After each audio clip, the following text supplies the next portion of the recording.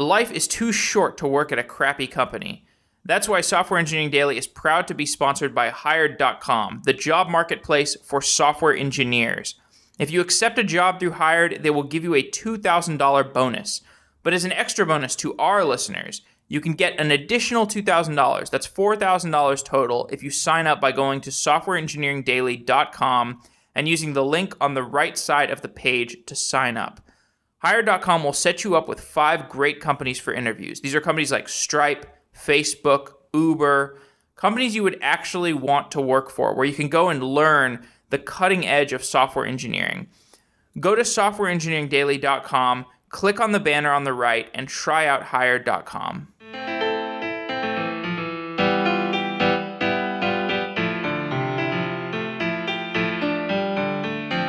John Paul is an engineering manager and speaker and currently is the CTO at InRhythm. John, welcome to Software Engineering Daily.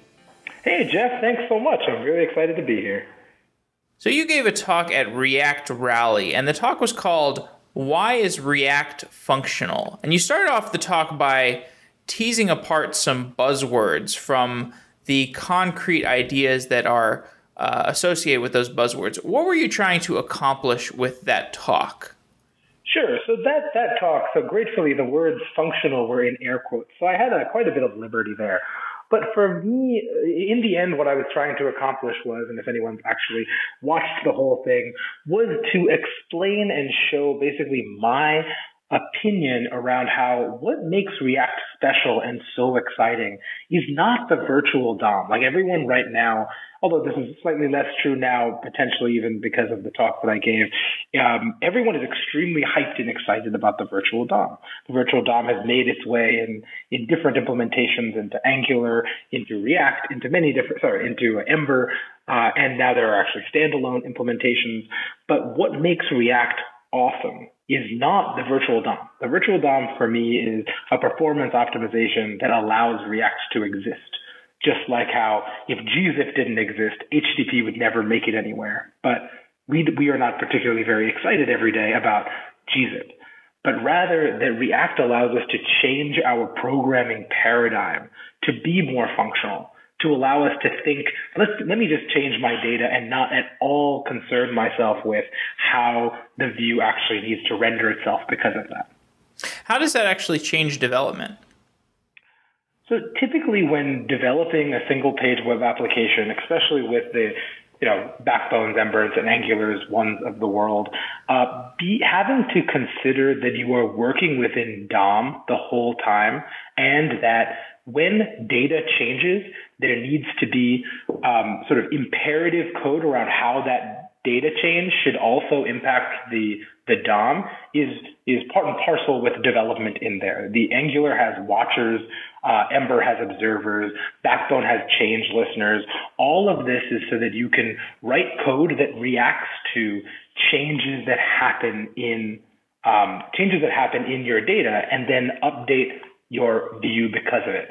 React does not have any of those things. There are no uh, there are no things you have to pay attention to around when the data changes do something, when the data changes here do something else. But and, and that's a fairly salient distinction for me between the world of you know the non-React framework and the React library, which allows you to think in just just give me a render method. Give me exactly how you want your DOM to look like given the data, and we'll always keep that in sync for you. So why why do people get so wrapped up in the virtual DOM? Well, at the time, and even even now, the virtual DOM is the the key performance optimization that allows a, a, a library like React to even exist. So we, as so as software engineers, typically myself included, are sort of um, obscenely enamored with efficient engineering solutions to things, right? That, that's, that's why the idea of, um, you know, uh, performance, figure, figure out your performance problems later, make it work first is, is part of typical software engineering practice is because we are really excited and our mouth waters at these new technologies that are so much more efficient at whatever that thing is, at, at memory, at speed, at however however we need to uh, uh, quantify that. So the virtual DOM as React gained in popularity was the really easy short buzzword that you could just use, just like how when, we talk about big data, when what people are really excited about is not the words big data. It's all of the actual use cases and technology that the ideas around big data provide for. Virtual DOM happened to be that um, that coalescing word that allowed everyone on different teams, products, and companies to be able to come around React and say, look, here's this thing that makes it special. Because every library and framework and, and really anything that has the ability to be bandwagoned to, they, they all have uh, one central marketing term, really. Uh, and or, maybe a few central marketing terms. And for for React and, and in the JavaScript community, virtual DOM happened to be that that word that won out above all else. Though you're saying, um, you know, Angular and Ember have adopted something like the virtual DOM. Um, so, you know, what what is it that I mean? As you've said, you know, there are, there are things that React does that are special um, that are not necessarily the virtual DOM. Could you exemplify that by comparing React to the the newer implementations of Angular and Ember that use the virtual DOM? Why are these not as good as React? Oh, I don't know if I will say at all that they are not as good. I think that okay. they do not. Uh, they they exhibit the performance at least as much of the performance optimization that the virtual DOM provides for. Just to, just to let you know, I'm not particularly prescriptive about these things. I okay. have really enjoyed working with React. I have really enjoyed working with Ember, and I've really enjoyed working with Angular predominantly. My, my life is actually typically in Angular and Ember, and, and, and my day to day is not 100% React. And I don't think that's necessarily a bad thing. For me, the the different pieces of this, um, you know, technology landscape are all applicable to different product and business decisions that need to be made uh, sort of on a team by team basis or on a product by product basis. So I am, I have no expectation, nor would this be realistic, um, that any one framework will ever win out. There is, um, the closest we've ever gotten is sort of Backbone because it was one of the first, and look where that is today.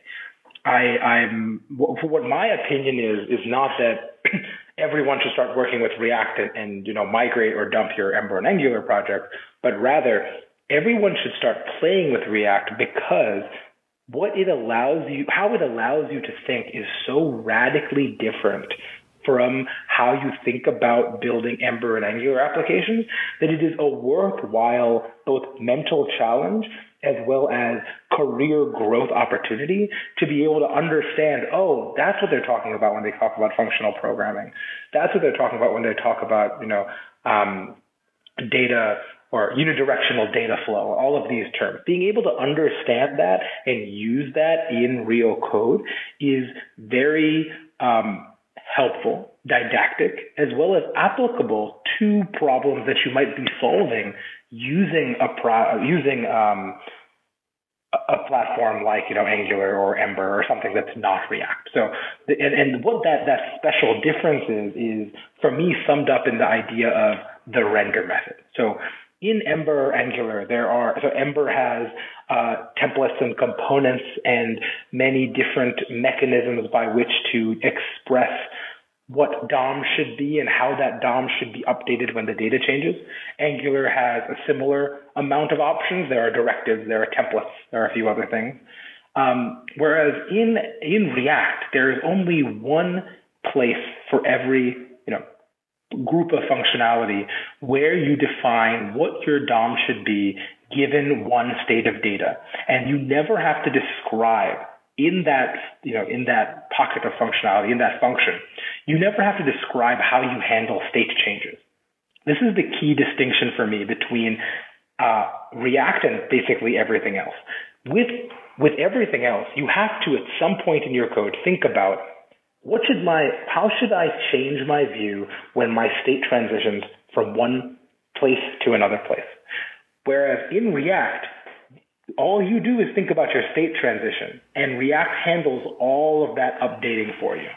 Right. Yeah. This is the notion that your React components describe the state of your UI at all times. Exactly. Yes. And um, that is very different. So, uh, zooming out and like speaking of hype, um, do, do you think that React, like, are we going to look back uh, at React in in like ten years the same way that we look back on iOS today as like a, a you know just a, a, game changer in terms of um, how it how it uh, changed what what people are focusing on? I mean, probably for very different reasons, but but uh, is it, you know is it the same level of paradigm shifting technology? So okay, so I left my crystal ball at home, Jeff, and I'm very sorry about it. But I'm gonna um, I'll go out on a limb and make some guess. So I expect so basically in the JavaScript world, we have been very very good at the plagiarism required to continue to build and grow an ecosystem. And and when I say that, I mean that that good ideas, gratefully, like we are we are in software. The software industry is one that sort of is very comfortable with and glorifies taking the great ideas of others. And I'm very happy to live in a world where I can just take those great ideas and build them into my systems. So I don't know if React is going to be. I, I would guess that React, the library, potentially maybe the Facebook ecosystem around that, like Relay, GraphQL, maybe those will become, you know, Railsy-like platforms that become sort of ubiquitous in, in subsets of our community. But I can guarantee for you that the ideas in React that have already been taken to inspire libraries like Om in ClojureScript, libraries or libraries and languages like Elm, um, and will the, the ideas will be proliferating our minds for many years to come, and that will hopefully, and I I'm very excited for the world in which our APIs are much more both fluent as well as expressive of state transitions and not the nitty gritty like React allows you to do. Um, the, the other the other difficulty in the question for me is that so iOS and Apple they are based, they're a gigantic company and a business that was invested in making sure that that platform was successful. I don't know if that's exactly apples to oranges with respect to Facebook's investment in React, but the well, didn't they rebuild Newsfeed in React? They did. They did. But there, at least I don't know of any particular direct business interest in making sure that React becomes, you know, as ubiquitous as iOS is. Right. Okay. You know I guess there's, I mean? a, there's a there's a difference between internal development and uh, and external evangelism. Exactly. Exactly. Like I I can guarantee that there was a you know a budget line somewhere for marketing of iOS. you know. Um, I, I, well, I although the, the the open source efforts of mm-hmm. the React team have been uh, very uh, intentional. Um, Completely, and, I agree, and effective. and and effective, and mm-hmm. like that's the the the uh, you know it's paid dividends for them, and it probably will continue to. So that's I mean that is that's certainly one uh, element of uh, yeah, evangelistic my, return. My guess would be that this is a significant hiring boom for them, mm. um, and not necessarily direct to bottom line. But you know, who, knows what's going on in their heads? I'm pretty sure that someone, myself potentially included, could spin a way that this could make um, make them revenue directly. But I, I agree that they are immensely invested, and that investment has paid off for them extremely with respect to this um, success and adoption and mindshare. But the mindshare is really what is most surprising because I was I was actually at the JS Conf where this was where React was announced and then subsequently significantly derided because oh it's so ugly. Why are we back to using clicks? I'm throwing up in my mouth a little bit because I just wrote on click, you know, it's like those kinds of things. So it, they've made a significant turnaround because of that investment, and, and that's uh, that's great. So, in in that talk, why is React quote functional? You uh, you explored some of the differences between the server side rendering of the past and the rendering of the present. Um, I'm not sure exactly how long you've been in web development, but it's, it's you you've definitely dated yourself in that uh, conversation. So so how how have things changed? Sure. So things have changed. Well, obviously, things have changed dramatically in that thick clients have become um, thick, thick clients. I guess what, what what time frame are we talking about here? Is this like over the past ten years, fifteen years? Oh, I would say somewhere between ten and fifteen. Yeah, I mean, think about in so 10 years ago, the, the websites were predominantly, you know, Java servlets or, or something like that. Rails, I don't actually know when Rails came out, but Ruby was definitely not popular. I don't know if Django or Rails were in the world then. Uh, Perl was still big and popular. Um, yeah, so I'm talking about sometime before, let's say, uh, Backbone world.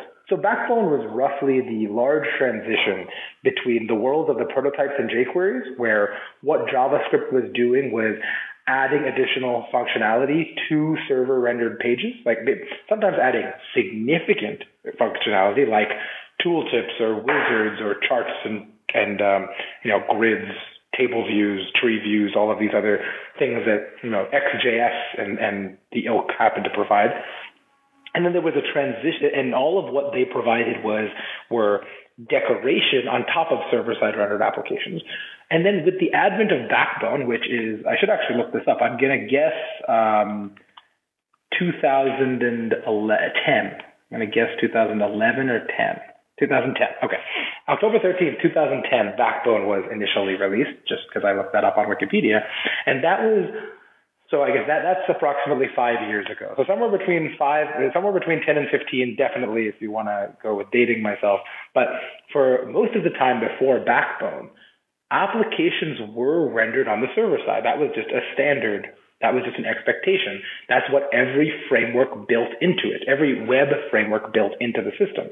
A mechanism by which you can, when an HTTP request is received, some data is fetched from a database, data and template merge together, and a large, gigantic string is sent over the wire to the person's web browser where they then are able to see an HTML page. Post Backbone, a lot of our, you know, investments and, and new technologies in the ecosystem move toward single page applications or thick clients such that users could have more rich user experiences typically. This was the, the, the backbone reaction was roughly, at least in my opinion, to Flex, because Flex is what is a technology that, considering the you know Adobe Flash ecosystem, allowed you to uh, develop these really rich interactive, didn't need to wait for a full page refresh and white screen sort of um, applications, single page web applications took that responsibility and ran with it. That's why we're able to have these amazing backbones, embers, angulars, reacts. There's a whole progression here. I don't know what will be next. Something will come after React, I'm sure. Okay, and and you also mentioned that you you miss you miss refreshing the page, and you said that React brings back the feeling of refreshing a page and getting a clean slate. What do you mean by that? Sure. So um, oh, then now now you're really going to make me date myself. So I loved, um, and you can get your audience can get a bit more feel of this if they see the talk. I loved the world in which I could come, I could open up my console, play around with the JavaScript in there, you know, the jQuery, the prototype, the whatever. I could um, add new event listeners, click on things, and completely screw up the state of the application just so that I could learn about how I should be doing something or does this actually work? Can I test this out in C2? It's a sort of the world before, you know, test-driven front-end development. Um, and then if I just, if I wanted to just reset everything, if I wanted to go back to, you know, um, from scratch, clean slate, all I ever had to do was refresh the page a simple command R, and I am back to a known state. I know exactly where the database is. I know where the code is because it's all written to files on disk somewhere. And I didn't have to, and I could uh, sort of get back to pristine what I had just messed up in the console to be able to debug something or test something out. What React allows, and, and because React allows you to think about applications purely as state changes, and not um, changes in view very imperatively, what that allows you to do, that's what allows me to do, and I'm very, why I find it so exciting, is that again, I am allowed to think, oh, I don't know. I don't have to care how I got into some weird state or how I didn't get out of some state. I get to just change my data and React automatically handles the data to view translation. So I am developing in a way that allows me to feel like everything I do is a clean slate rather than the, you know, nitty gritty of dealing with, for example, in Backbone, if I have a change listener and on that change listener, I need to, um, if the, if the item is checked, I need to do one thing to the DOM. If the item is not checked, I need to do the other thing in the DOM. And I need to, you know, jQuery soup, dig around in the DOM of my element, find the right things, set the right classes, all of this really imperative, um, all this really imperative code in the jQuery world all of that is now completely removed from me. And what I what I like liken that to is considering my application is in a clean slate all the time because I don't have to think about transitions in views. Hmm. Okay, that makes sense. So so now I'll ask you, why is React functional? so React is functional because um, React views are a pure function of the data that is passed to them, rather than having to deal with the imperative changes that happen as an application changes through time. So um, no, no application is static. Eventually, you have to put in new data, remove data. In the cruddy world, you have to you know delete something, add something, um, make some new relationships in the world outside of React, all of this means that you have to try to keep your data and view in sync. There's a lot of code that you are writing to keep your your view up to date when you're changing your data, or your data up to date when you change stuff in your view. Now, React is functional because the view is a completely pure function of your data. So all you have to consider is change your data. React handles everything else for you. Got it. Um, so you've given some other presentations about JavaScript, and mm-hmm. one of them is JavaScript the bad parts. And I want to talk about this, but first, could you give me some idea of your history with JavaScript? Like, what is the arc of your relationship with the language? um, so this is this is interesting. I've never really thought about my relationship like this. I need to come up with some sort of timeline. So for me, I so I started off, you know, doing a lot of Java. Uh, and from Java, very quickly made the transition into JavaScript because I really uh, enjoyed being able to work with something that I could show my parents. You know, like I could tell them, "Look, look what I'm doing. I'm making websites that you can go to when you open the Blue E." isn't that blue E beautiful? and then you just type in this thing. So, so that for me, I mean, that was you know also HTML, CSS, and JavaScript, sort of all three together. And then as I really start to explore my own interest in programming languages, so I myself am uh, sort of a hobbyist in programming languages in general. I uh, I dilly dally in you know, Scala, Clojure. Right now it is Elm and Rust, although I have no real time to do either any justice. Um, so as I got further into just learning the programming language JavaScript, not I mean very happy with the fact that I was able to use it to build websites. I really enjoyed uh, because it was one of the fairly early ones I knew in terms of the space of dynamic programming language, uh, dynamic and weakly typed. I I really enjoyed it because you know you could sort of do anything that you want and and eventually I learned much more of the actual you know formal semantics of things.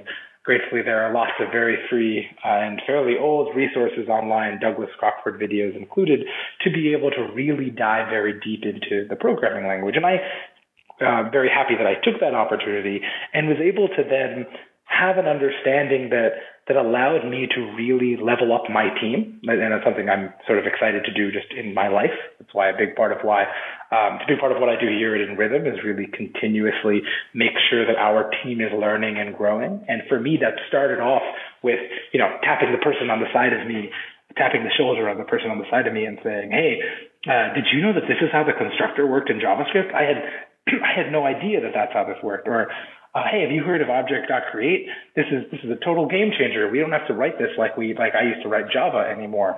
Um, so I'm my personality is one that gets really excited about these these uh, sort of esoteric, interesting things. At least it was esoteric in 2008. It might not be so much so now, um, but that um, that allowed me to sort of grow into this finding very interesting things about a programming language, being able to put together um, presentations and then present them about how to help people learn about either technologies, programming languages, or other you know, pieces of software in general.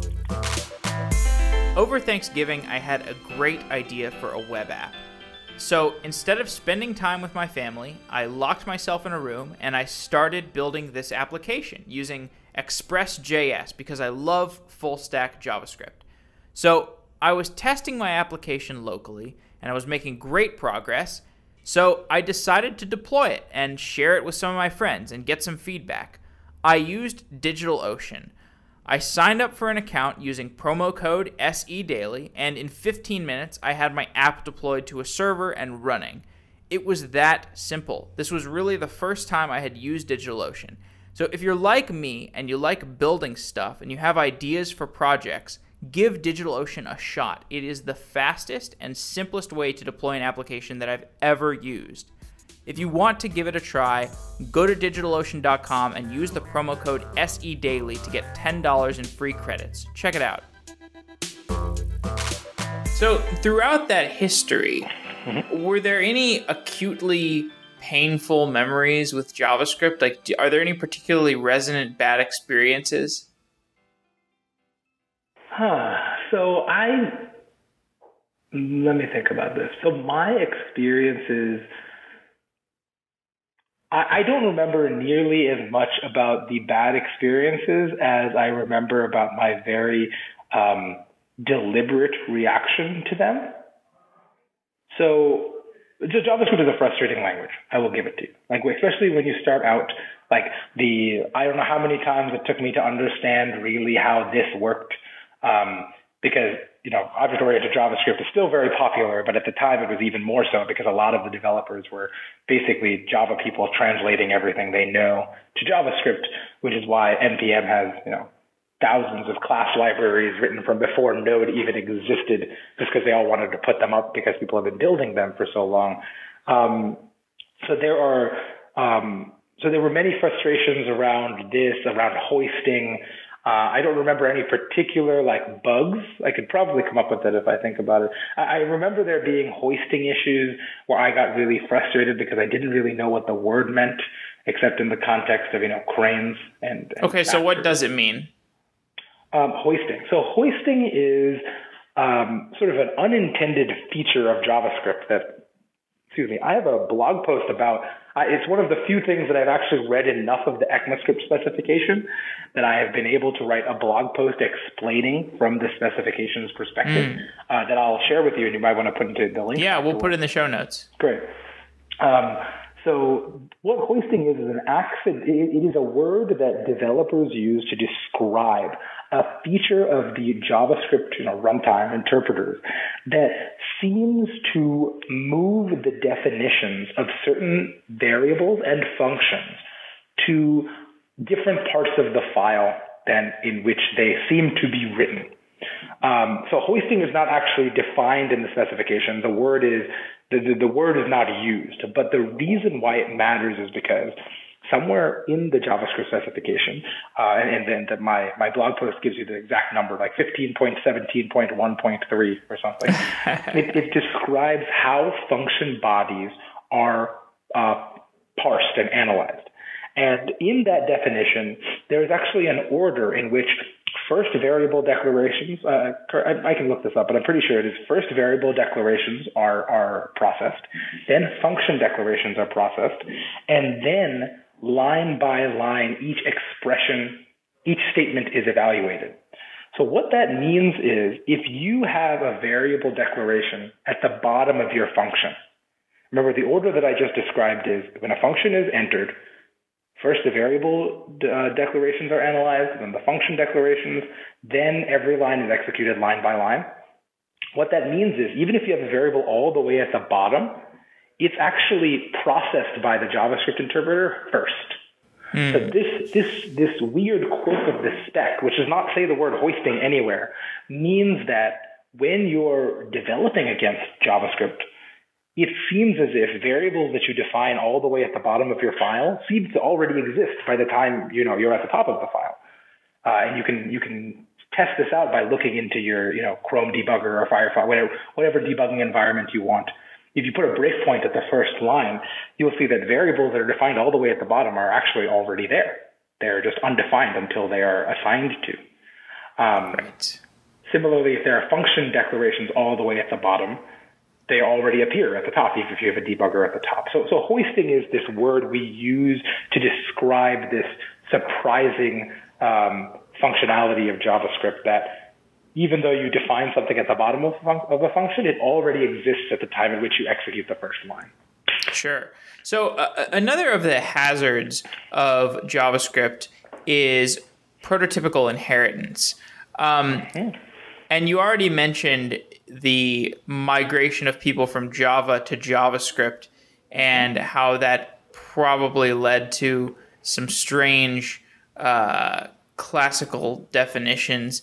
Um, but how, how does prototypical inheritance work in JavaScript, and what are some best practices around prototypical inheritance?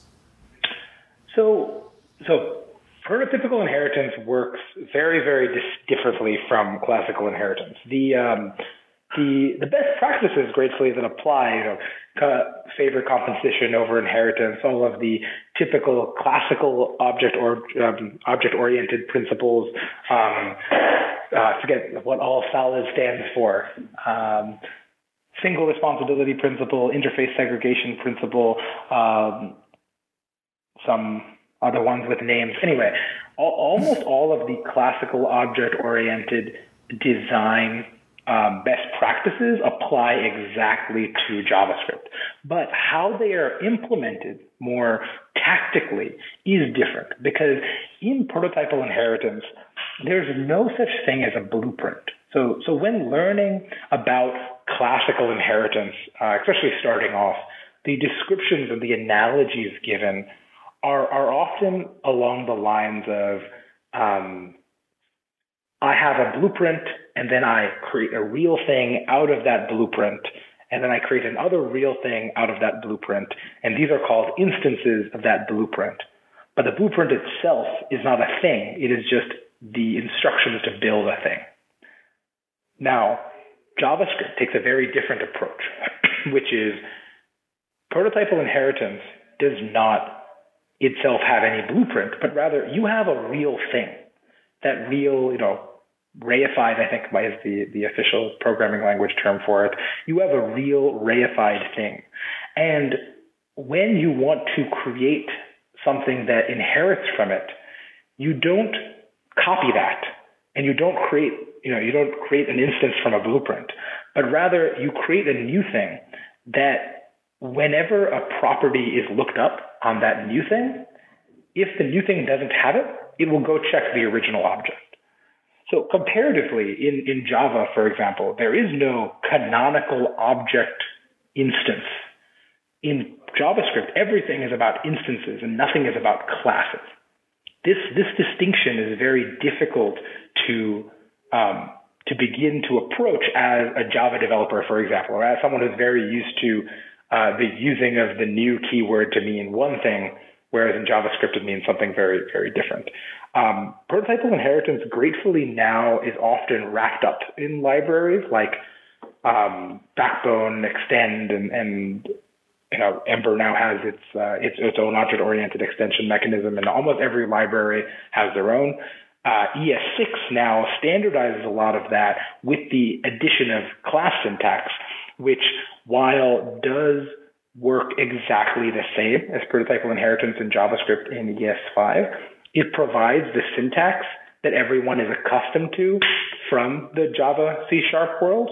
Um, and I'm very, I'm excited about how that will potentially bring in even more people to enjoy this language. Could potentially cause some confusion when they when they realize that New does not do at all what it does in other languages.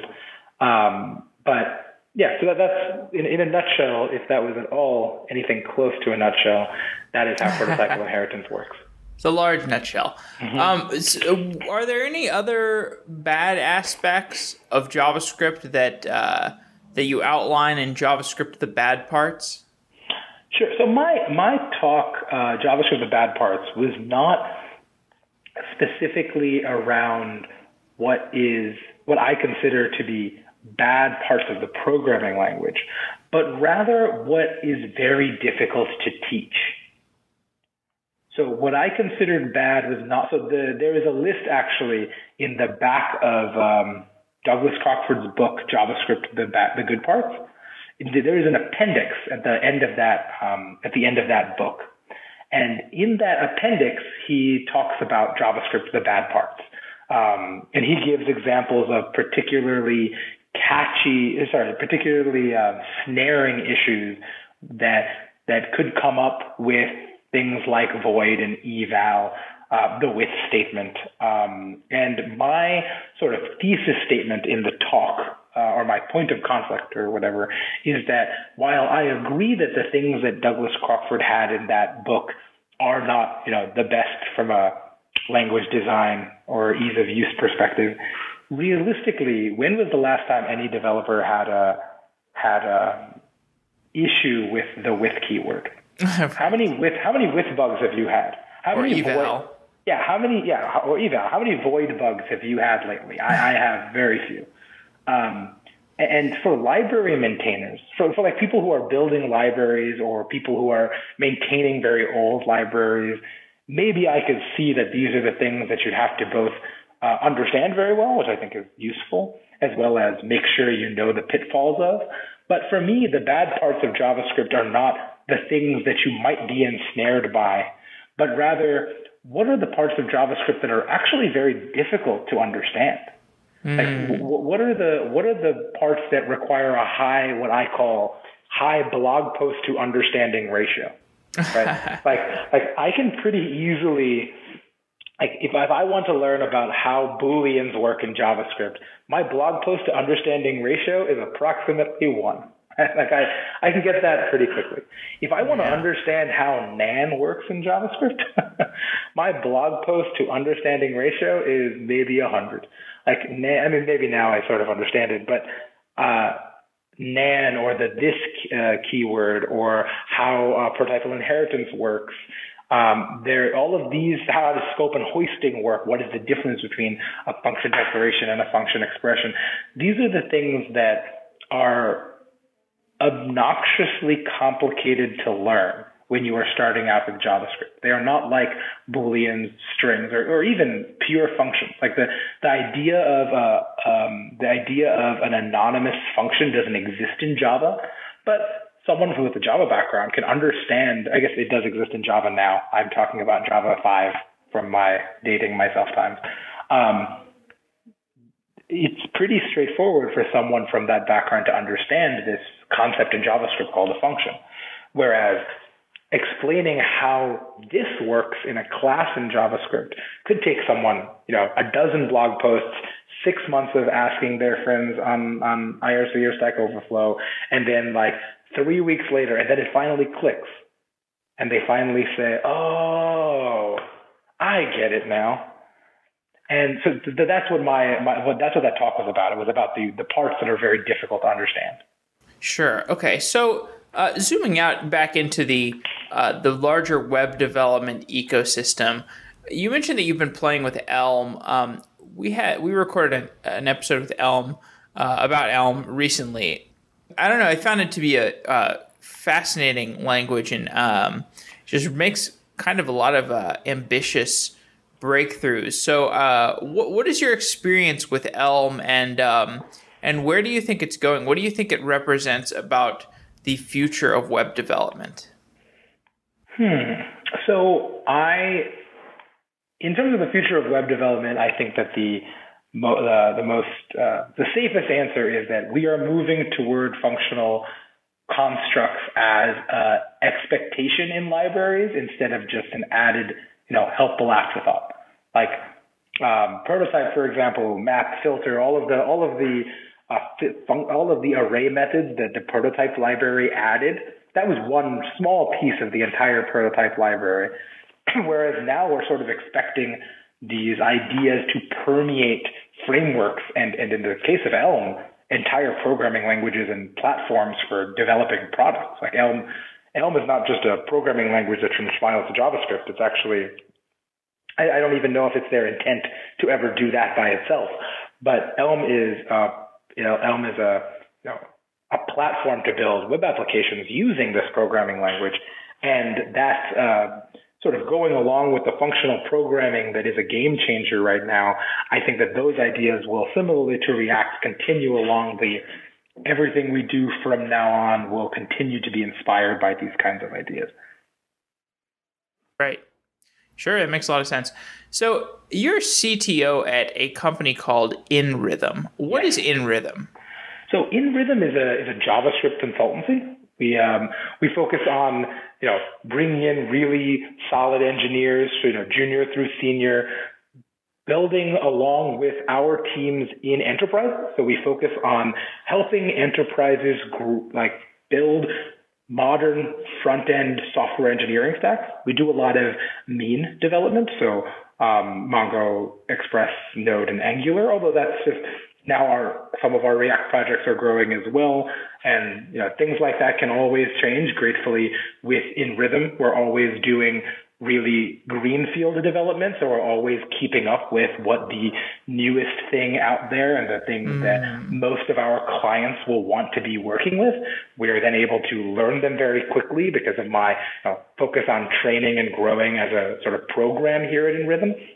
And then going out to our clients and being able to be really effective building building products for them. What are the challenges of working with large organizations?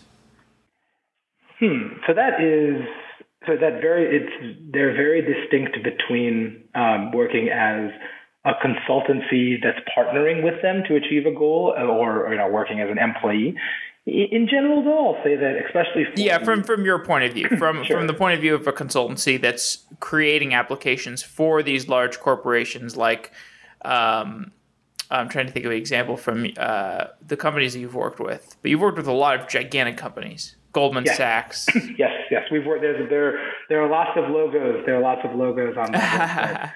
um, so the the challenges aren't that the, the most salient challenge for someone with, um, you know, our individual developers or someone with um, the engineering background. Like I'm, a, I'm a programmer as well as you know CTO of this of the company. And the, the most salient one is bureaucracy is fairly antithetical to our life, like to our lives, our mindset. So, so dealing with and navigating the and I don't say bureaucracy is a bad thing. Bureaucracy is a necessary part of you know large organizations. It's the it's a big part of why many of these organizations are very effective. But that that that is probably the largest understanding the landscape of large companies is probably the most difficult and surprising for my team to because it's very different per company. Every company has their own culture. Every company has their own uh, ways of doing things within that bureaucracy. So, so finding ways to learn that very quickly is, is high high priority for me and my tech leads, basically. Uh, so that, that that's the most salient one. So you mentioned that you're building a lot of greenfield applications for these mm-hmm. companies. Um, I'm curious, like, are these are the applications that you write for these big companies? Are they typically like replacing old applications that these companies have? Um, in certain situations, yes. Um, I would say that we are. I don't know if that's that's that is probably not the majority of it, but in in certain cases it is. Basically, we are um, as any product development consultancy, we are the go-to people to be building modern and maintainable software. And for, for each of our clients, the reason why we've been so successful is to be able to um, build something from greenfield that we are because so we are we're sort of run by reputation gratefully here in New York. So we need to be, we're not the typical consultants that go in, hack some stuff together and just throw it over to your team to release it because we need that reputation where someone for where an engineer from that next team. So we we hand off with a you know uh, a learning period to make sure that we are bringing that team up to speed. And we want to make sure that every time that team um, looks at this code, they don't say, "Oh, well, how the how the hell does this get written?" but rather, but rather, "Oh, I see the patterns we should follow. This is not a broken window sort of situation. We've laid that groundwork for them to take that for the distance." So because of that, we are able to really quickly iterate on these modern bleeding edge greenfield things, and that's what we've become known for to be able to lay that foundation so solidly that internal teams can then move on from there and be continually effective. How, how has the world of consulting changed uh, in with kind of with the advent of Web 2.0? Like, have there been any major changes, whether through mobile or uh, through through the uh, you know the the emphasis on the newer newer emphasis on JavaScript? Um, what's changed in a more modern context? So, I mean, so, to be honest, I'm not that. Uh, I am not an extremely veteran person within consultancies. Um, so my, my background does come from the product side. I've worked at uh, Condé Nast and other media companies. Um, so I'll give you my sort of assumptions around that. What sure. What uh, the, the web development industry as a whole has always been very, well, it's been growing extremely. Regardless of our worries around mobile, it is still a, a gigantic industry that is providing huge amounts of jobs. What we've been able to do here at InRhythm is really package up the best practices around a niche within web development around you know modern front end software engineering focusing on test driven development and maintainability and and what the and gratefully this is consistently as software gets more ingrained in our lives and in a certain sense more complicated there are always more of these opportunities. Like there uh, five years ago the, the idea of a second screen didn't really exist right? Pre, pre iPad well there, there was no such thing. The the idea of a watch that integrates with you know some TV show that you're watching is also a new idea. We, we're we're in a we're in a fairly prolonged stage economically of very very fast and new growth, and for us as a consultancy. Gratefully, we are in a situation where we can continue to keep up with that because our focus is on um, building new solid software uh, solid in both senses of the world, the word, I suppose. So I think it's it's been very it's been very helpful with respect to the industry's growth. But outside of that, I mean, I'd love I'd love to talk to you again in maybe a year or two, and I see uh, I see a little bit more clear picture of what the sure. industry is is like outside of you know. So so and as CTO, uh, I imagine you're involved in a lot of hiring, and I'm curious, like from the hiring perspective, how do you see these uh, new coding boot camps? How do you see the new glut of of types of programmers, and how do they compare to the more typical uh, types of people who who have who come from like a computer science background? I don't know if I would call it a glut. Um, really? yeah, at least not yet. Um, the yeah, I don't know. I, I don't think currently the basically we are in a situation where junior programmers with practical experience, not zero, but not very high, are um, I don't know what I don't want to say ubiquitous, but I want to say significantly more uh, frequently come across than you know maybe five years ago. Um, and what that is, and, and there there's sort of a stratification of different schools with respect to practical, accessible knowledge and um, instead of you know book knowledge a little bit.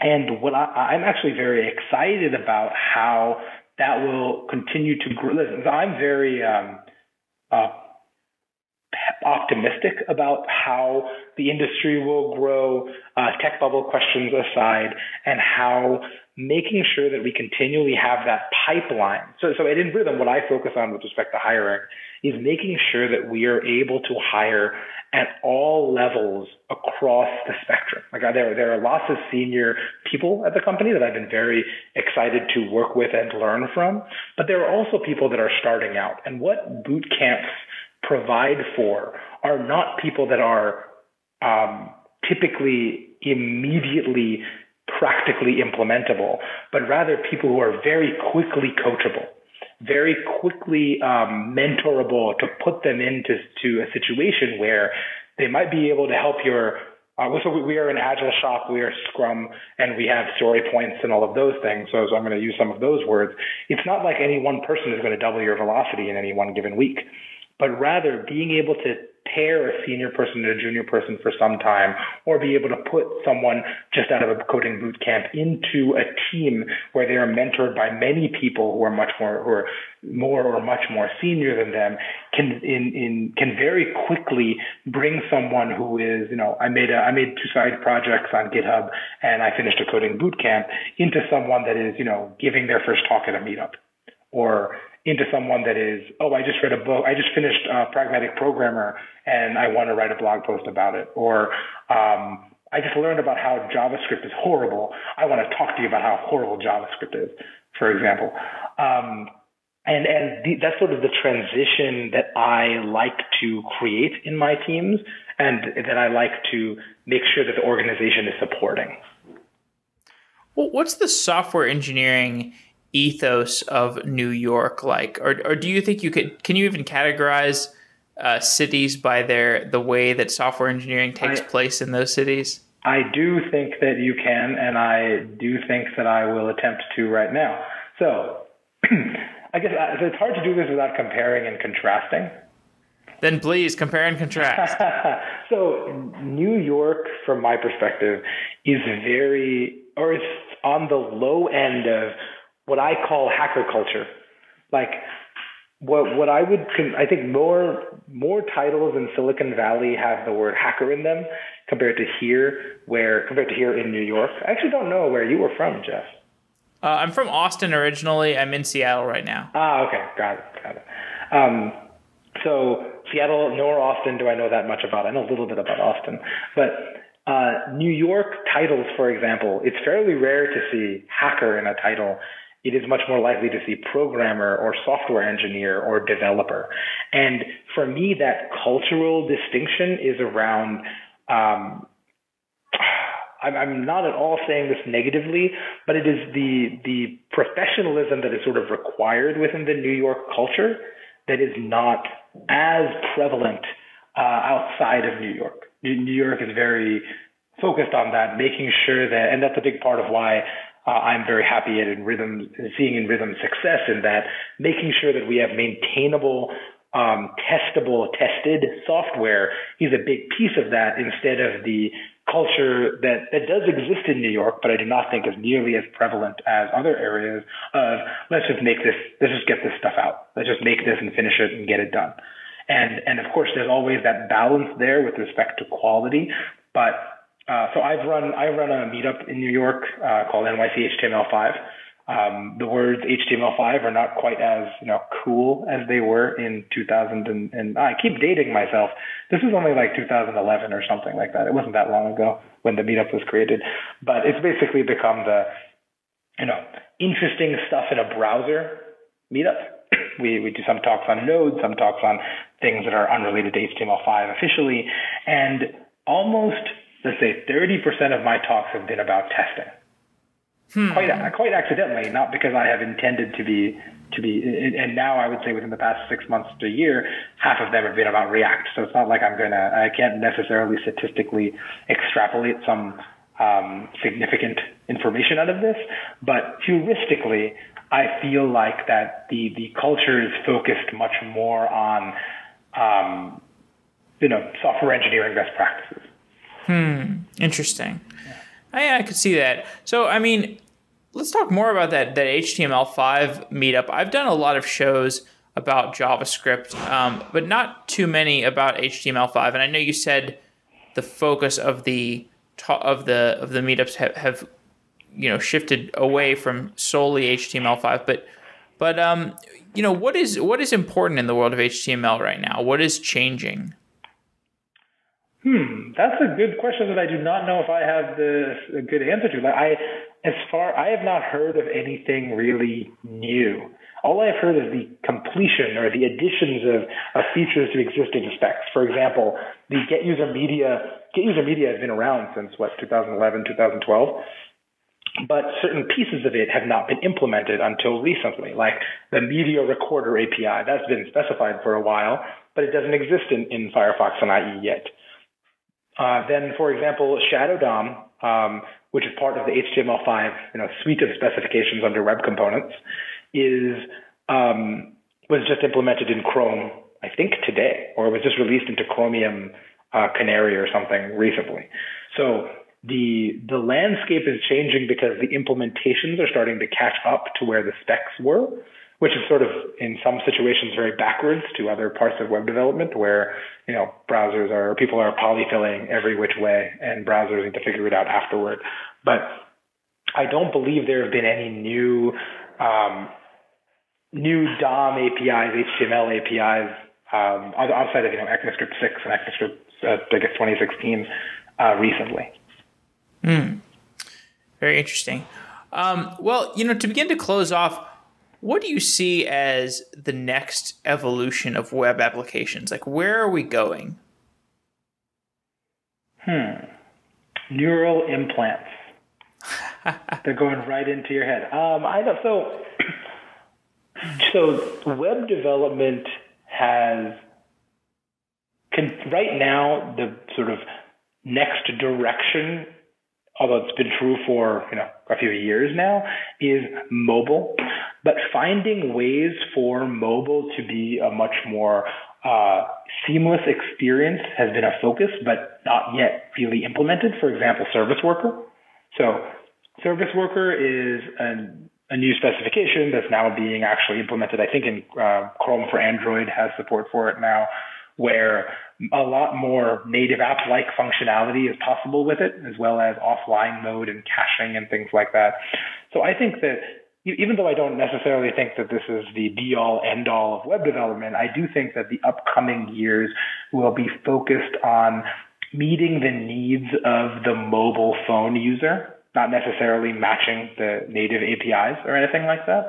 And and I'm very I'm very happy with that as a mobile phone user, being able to think about a world in which, you know, offline is straightforward and easy and I can use, um, I don't know, I can use Yelp without having to come out of a, uh, come out, out of the subway or something like that.